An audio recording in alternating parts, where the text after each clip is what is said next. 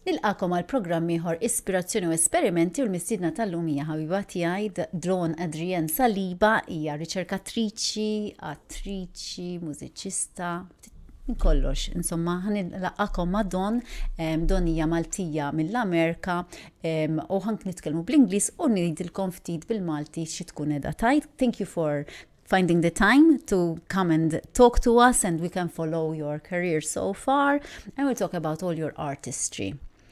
Um, your life in New York as an artist, uh, this gets me curious. Artist, lecturer, maybe you give us a picture of what is life as um, um, uh, an American Maltese person there. How is it? How does that look like?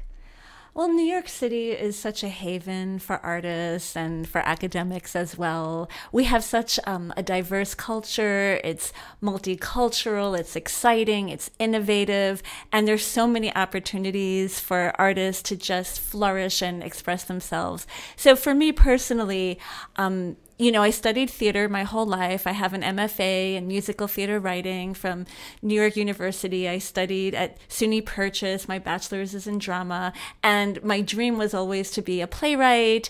And um, after my studies, living in New York, I found such a beautiful community and I was able to produce plays and direct and also be a solo performance artist and singer songwriter and um, I was really into spoken word and and slam poetry, and you know, it it was just such um, a nurturing incubator for us in the arts. Allura, donet issemmi li New York kienet isa bennina għall-artisti u l-riċerkaturi fejn i personalment gradwat fil-musical theater, writing, fil-kidba u produċiet u tella ċolijiet taħħa kemm waħedha kemm fil-mkien ma' kollaborazzjoni ma' oħrajn u kien post fejn ena ħafna. So, um, your interest in this is, I know how what a nice uh, feeling this gives you. The hypogeum of Hal Saflieni has brought you to our shores, has brought you to live here in Malta. Um, maybe you tell us all about that fascination that you have uh, with the hypogeum. Sure. Um, I was finishing my PhD um, in early modern drama, where I was also focused on theater and looking at the representation of witchcraft in theater.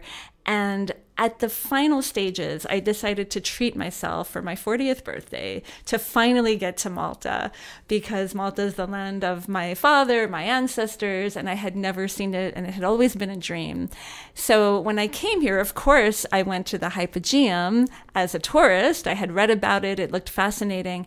But when I was actually in the site itself and was standing outside of the main chamber, my heart just stopped and I gasped because to me it was like powerfully evident that it was a theater. I mean, you could see a platform, you could see entrances and exits where performers, like ritual practitioners, would, you know, go in and out of the room. You could see where audience members might have sat. And um, after the tour, I went to, you know, look it up, you know, the academic articles to see what was written about it. And um, I couldn't really see anything written about it as a performance space. Yes, as a ritual space, but not as a performance space. So then that became my goal. I had to move to Malta. I had to write about the Hypogeum as a prehistoric theater. Wow. Ija kienet tissemmi li fit-tmim il-PhD l-ewwel waħda li kienet ta' tagħmel kienet xtaqet li anka tagħti rigalli l nifisa u tiġi Malta u marret infatti li poġew u meta kienet tħares li il-main chamber, il-kamra l-kbira, eh, bdiet timmaġina li hija spazju teatrali fejn inti għandek l-atturi fuq pjattaforma, fejn jidħlu joħorġu. Apparti li hija huma ritwal il-performazzjoni l-show li kunu qed jagħmlu huwa ritwal imma wkoll huwa mod teatrali, post teatrali. U wara li ħadet it-tur u affaxxinat ruħa fejn i marret istess, indunat li fir-riċerka qatt ma tiġi imsemmija bħala post li seta kien teatrali. U allura għamlita isa il-missjoni tagħha biex tagħmel da propju dan. So you, you wanted to discover, to rediscover or to imagine this space as being a theatrical space. So how did you go about doing that? Well, it was a very long process. Um, I applied for grant. It took me about seven years to finally be able to get to Malta. I applied for grants, I didn't get them. I applied for jobs, I didn't get them. But everything fell into place after um, Trump got elected and I decided to move out of America. I just said, forget this, forget this country. I'm going to Malta. I'm pursuing my dream by hook or by crook. Um, of writing about the hypogeum. So I wrote a letter and um, a sample article to the archaeology department at the University of Malta. And um, I sent it to Professor Bonanno, who's very illustrious in the community here.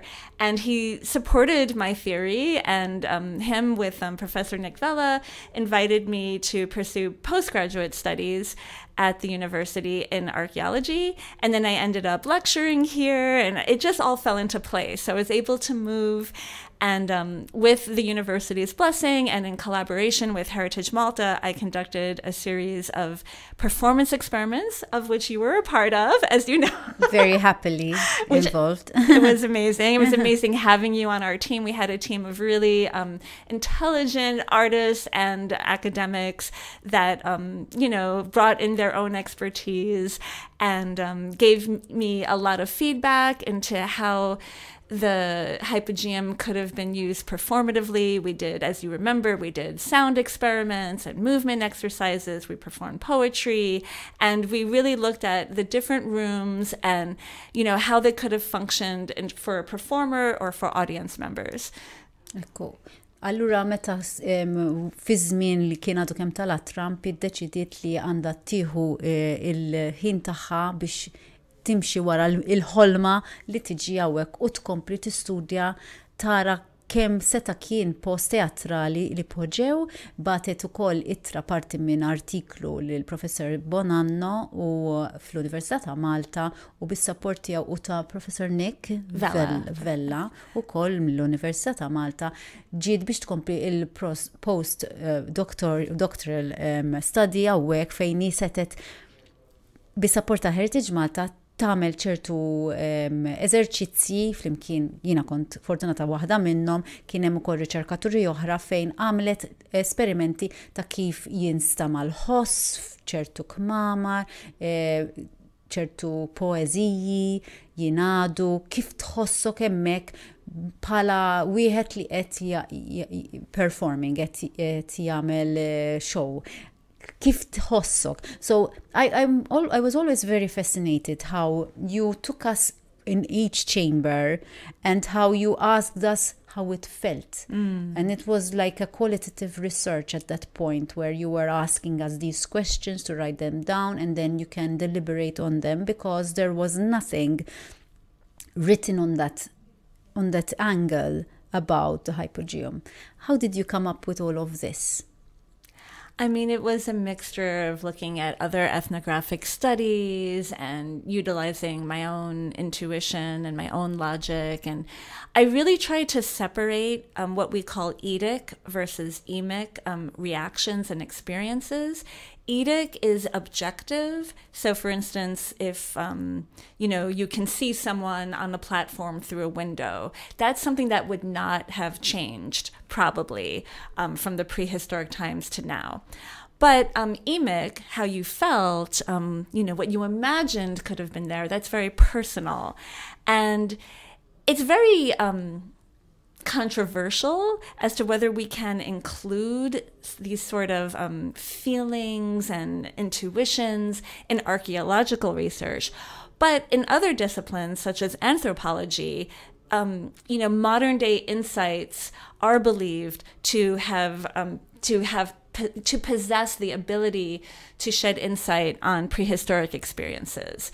I personally think it's in the middle. I think yes, we can really see how we feel in a space, how, especially as a performer, how the architecture informs our movement and our like vocal projection. And I do believe that that sort of experimental archaeology can um, shed potential insights into past experiences. On the other hand, I also understand we're, you know, in the modern day, the 21st century. It's different. Eh, we're of different. course, we're not sacrificing animals to like bring rain for the harvest, you know, so we, we do have a different mindset. So exactly. it's not 100% accurate our experiences, but I do believe they're valuable to record. Ekku.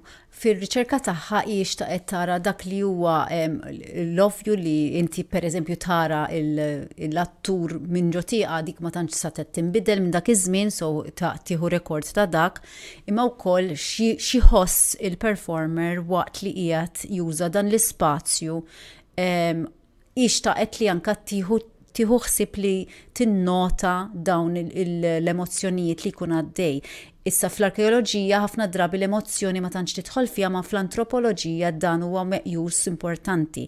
Ovvjament aħna bħala performers jekk wieħed immur da żmien mhux se jkun qed joqtol bħala sagrifiċċju l-ebda annimal imma biex iġib ix-xita Allura hemm bidliet imma eh, l-emozzjonijiet tagħna x'imkien fin-nofs bejn l-emozzjoni u dak li huwa loġiku qudiemek li qed tara qed jgħinna nieħdu stampa ta' affarijiet li finalment huma mitlufa. It's still we still need to use our imagination to try and figure out because ultimately it's just that space that's remained in its bare roots, I, I, I, should think. Yes, we don't have any writing from this prehistoric period. All we have are the spaces, you know, the other temples, which are also performative. And we have their wonderful iconography, their artistry, their statues, you know, their, their relics, their bones. Um, and those tell wonderful stories factually. You know, we can determine diet, we can determine illness, but things we can never determine our, you know, feelings and beliefs and religion. We can only interpret.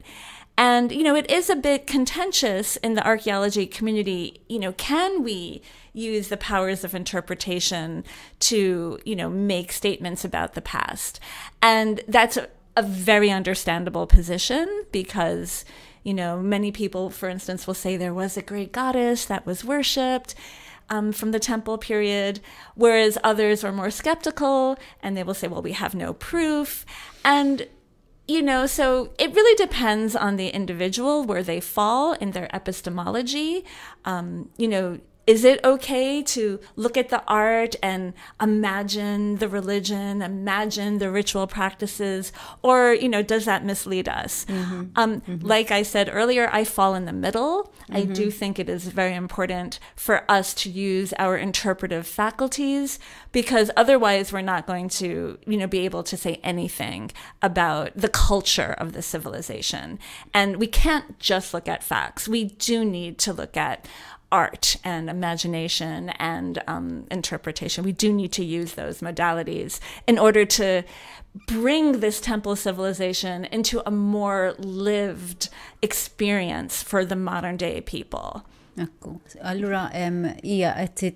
Kompli tinsisti kemm importanti li inti tuża dak li huwa fattwali jekk qed tara statwa qudiemek u f'dalijiet nistgħu nimmaġinaw x'dita kienu jieklu, x'mart seta kellhom, imma l-emozjonijiet tagħhom xorta titħol fl-immaġinazzjoni allura hija taqa' x'imkien fin-nofs għal xinkella ma nkunux nistaw nerġaw nimmaġinaw il-ħajja li setet kienu qed jgħixu in-nies ta' dak iż-żmien.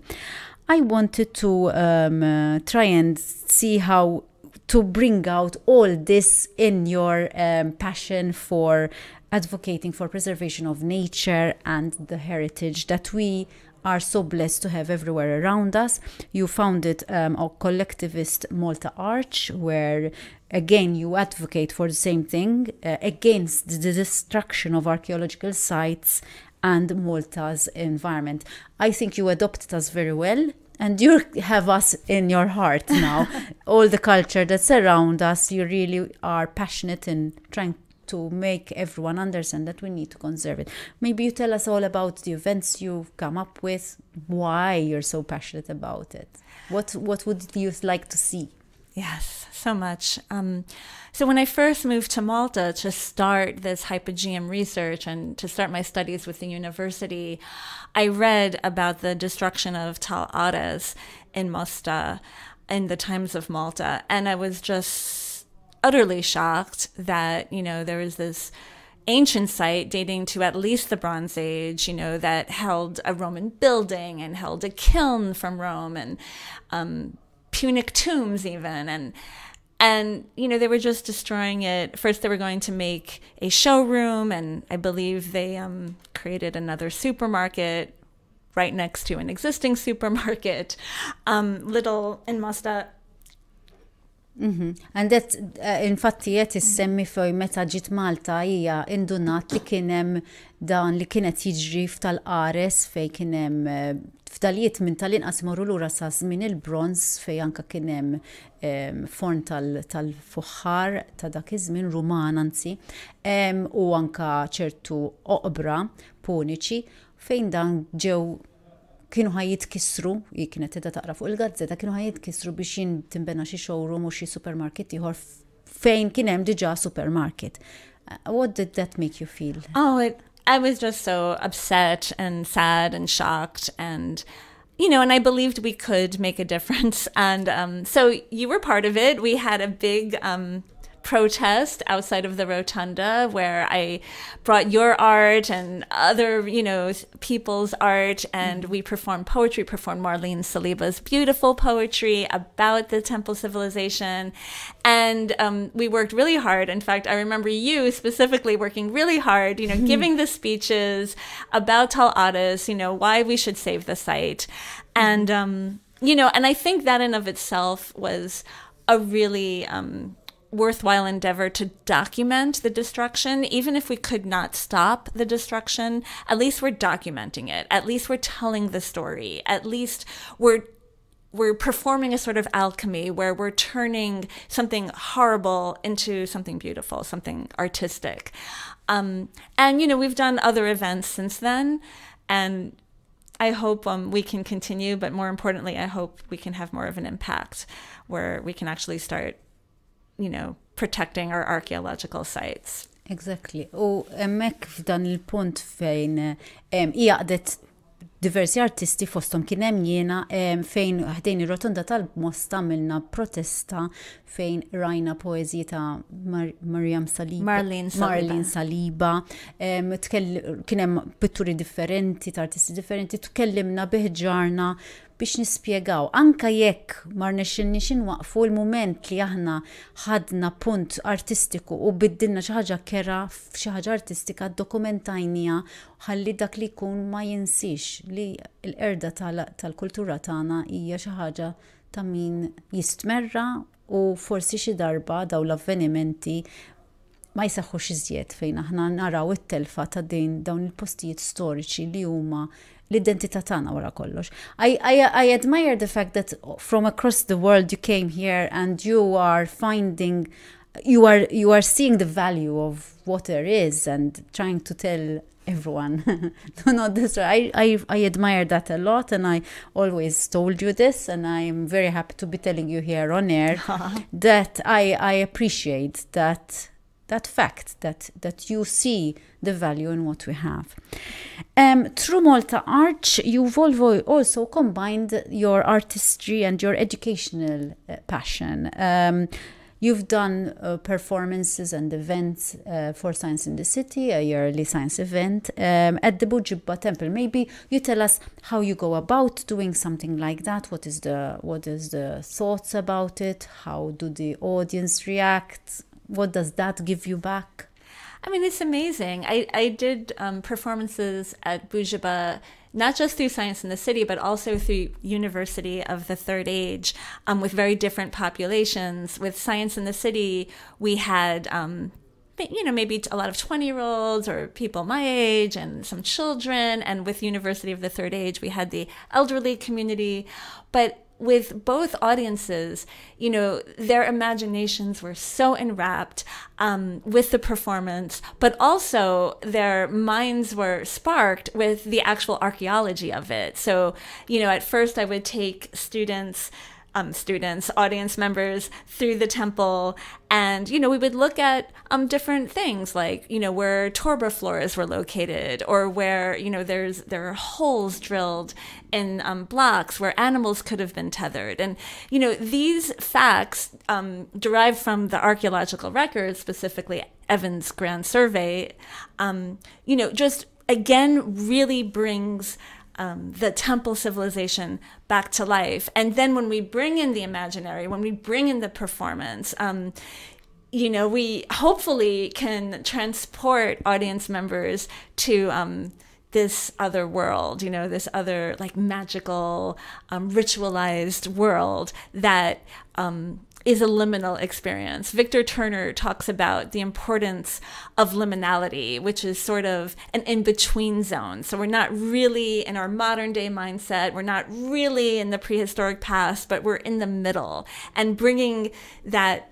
um, that imaginary, theatrical, ritualistic, magical world into the presence does something. Like Aristotle talks about how theater um, changes audience members um, through the acts of catharsis, through the acts of inspiring emotion into um, the audience, which is something you do amazingly, by the way, Angel. And I have to shout out Angel was a part of the Buġibba um, performance at um, with the Science in the City Festival. She um, did amazing live art, so she was drawing in the style of the temple civilization. Um, this sort of, I think you made the bulls uh, that we have like etchings of in in plates. She actually, you know, did that on a, a large cloth that was like an animal skin, and um, she also taught um, our audience members, you know, how to make pottery using the sort of pinch pot method.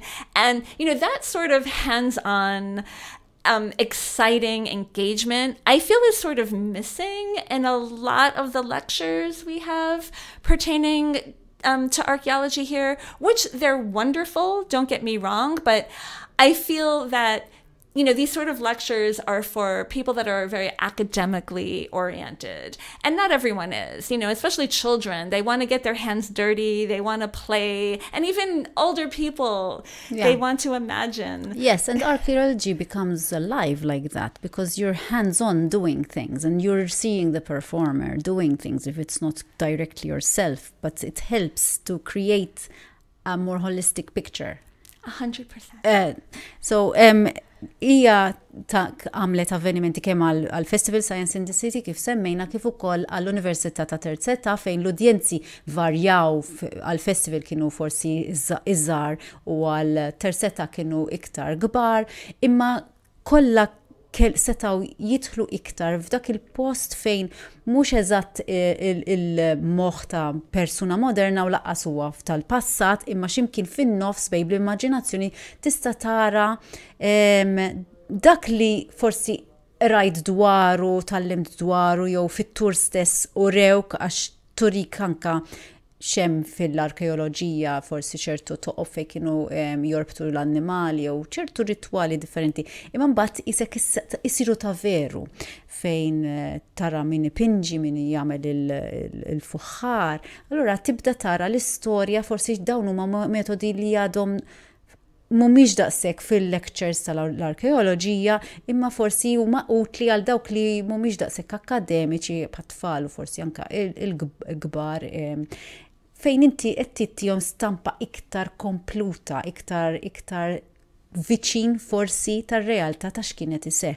It gives them, I think, the audiences a, a better understanding of what might have happened. The closest that we can go is through our imagination because there's no, as you said before, no writing. And it also um, is a lived experience that will stay in people's memories, especially if they're children. You know, going through the temple, you know, seeing people dressed up in costumes reminiscent of that time and performing a, a ritual or um, a poem telling a myth that is you know, plausible, plausible from something of that era, or even derived from other ancient civilizations like Mesopotamia, um, that that just becomes part of our memories and our memories form our emotions. And when people have more of a visceral emotional attachment to our ancient sites they'll be less likely to destroy them you know very